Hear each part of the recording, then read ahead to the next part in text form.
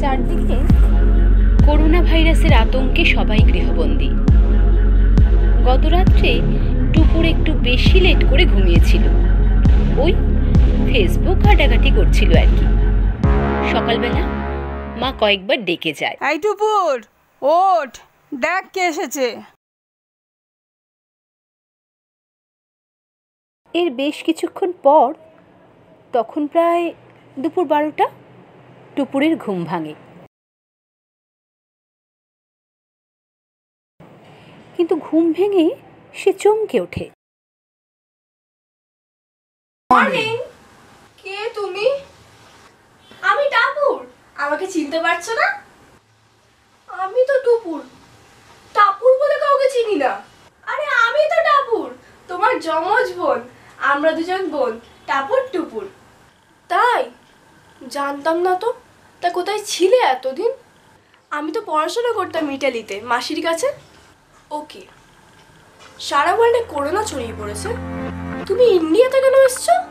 সেই জন্যই তো আশা এই বিপদের সময় নিজের লোকেদের কাছে থাকব। একদম ঠিক করনি। এতে আমাদের বিপদ বাড়বে। হোয়াট ইউ মিন আর যদি এসেওছো তোমার উচিত ছিল মেডিকেল টেস্ট করিয়ে কোয়ারেন্টিনে থাকা।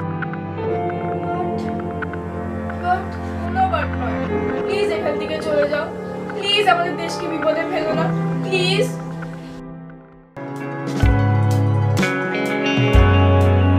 তুমি যাবে না যাও এখান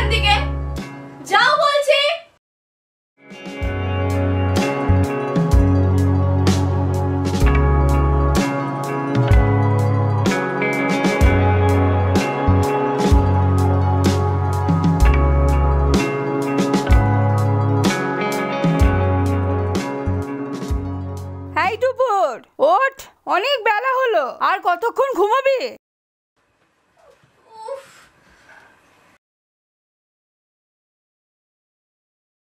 মা টাপুর কোথায়? টাপুর কে? আরে আমার জমজ বোন টাপুর ওমা তোর আবার বোন কোথায়? আপনাদের সবার কাছে আমরা শিল্পীর পক্ষ থেকে আমি শর্মিষ্ঠা একটাই অনুরোধ করব। এই মহামারী থেকে নিজেকে বাঁচান। আমাদের দেশকে বাঁচান তার জন্য ঠুনকো সেন্টিমেন্টগুলোকে কয়েকদিনের জন্য না হয় জলাঞ্জলি দিলেন সরকারের নির্দেশ মেনে চলুন। নমস্কার।